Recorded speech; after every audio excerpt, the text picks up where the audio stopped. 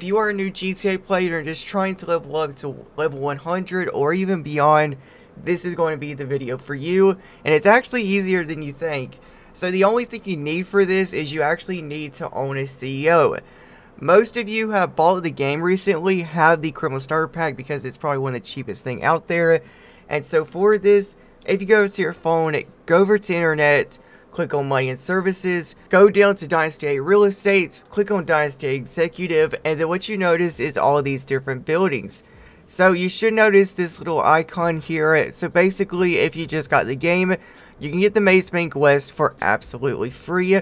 But for this one, I'm going to be using the one I currently have owned. Once you have your CEO bot, you want to go ahead, open up your interaction menu, and what you want to do is register as a SecuroServ CEO.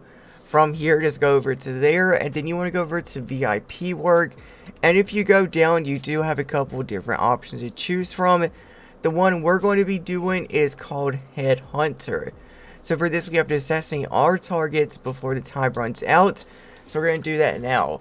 I highly recommend using an Oppressor MK2, but if you guys don't have that, then you can just drive to them and kill them as easily as that. And there we go. So we got our last person finally destroyed. We made ourselves 4,200 RP for something that was really easy to do, as well as $41,000. If you notice, if you go actually go back to the VIP word, you're actually going to have a 5 minute cooldown for this. What we're going to do in order to still get RP while waiting for the cooldown is we're going to do a specific mission. So for this, what you want to do is press options, go over to one, then you want to go to jobs, press play jobs, and then you want to do Rockstar created, head down and see five missions, and then you want to find the repo at Cybernautics. It's actually going to have the image of a cargo plane, so it should be really easy to find. Not only that, but you actually can do this at rank 1, so there is no requirements for doing this. Last thing I recommend doing is set the difficulty to hard mode it for the most amount of cash and RP for this. Alright, I'm going to go ahead and give like a quick explanation on this. So what you're doing is actually going to LSIA, you're going to find this massive cargo plane and inside of it is going to be uh, two vehicles. From here, you want to take the vehicles, deliver it back to Simeon's dealership, and then the mission is going to be complete. You're also going to have to lose the cops whenever you first collect it. Best way to do that is hide in a tunnel, an underground railroad, or anything of that sort. Or if you want the money spent, you can actually call Lester and get the one level off. Once the mission is complete, each vehicle that you turn in gives you 200 RP. So from here we got $11,550, which is okay, but it's actually not that good. And we got 2,605 RP. Now what I'm going to do is go ahead and go back into a new session. And then from here we should be able to start up the Headhunter mission again. So let's just go back to a new session now.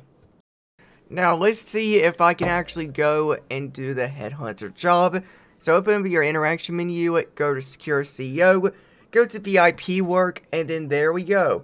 We have Headhunter ready for us to do again, and that is by far one of the best RP methods that you can do it for any low level players or anyone who is just getting started in the game. Now, if you actually don't have the Criminal Starter Pack, which I don't know why you wouldn't because it literally is just as cheap as getting the game, then let me know down in the comments and I might try to make a video for anyone who doesn't even have businesses or anything at all inside the game. So that is it for this. All you have to do is go over, Headhunter, do the repo mission and Headhunter again, and just keep repeating that steps. So the last thing I want to do is just to clarify how good this RP method is, is I'm actually going to add up all the RP that we made during the Headhunter mission and all the RP we made during the mission and add the total time it took for both and see how much we get for that time limit. So let's go ahead and do that now. Have you ever been broken GTA and just wish you could go from this to that without spending a bunch of shark cards that go from a $99 just to a million. That could probably get you a couple cars, maybe some buildings and businesses, but nothing to what you need. Luckily, we have OP Modz. OP Modz is a GTA 5 modded account and services website that's basically really trustworthy. Not only do they actually show their proof of work and have a 5-star rating on Trustpilot, but they're also a lot cheaper than the other GTA 5 competitors, and you can even use code discount LIGIIT for a 5% discount on all your purchases. Thank you, and back to the video. Okay, I went ahead and did all the math for it. So you get 4,200 RP for completing the Headhunter mission, and then for the Cybernautics, you get 1,000 and for the Cybernautics mission, you get 2,605 RP, and including the 800 you get for turning in the vehicles and collecting them. And that came up with a grand total of 7,605 RP, and looking at the time, this took around 15 minutes to do. Now, I know that doesn't sound as good as if you were to have a business and do like crates and everything, but for anyone who's just starting out the game, that's actually really good. That is all I have for this video. Hopefully you guys do enjoy it. If you found it helpful, please feel free to like and subscribe for more GTA 5 content like this. With that being said, you guys have a great one. Stay safe out there, and goodbye.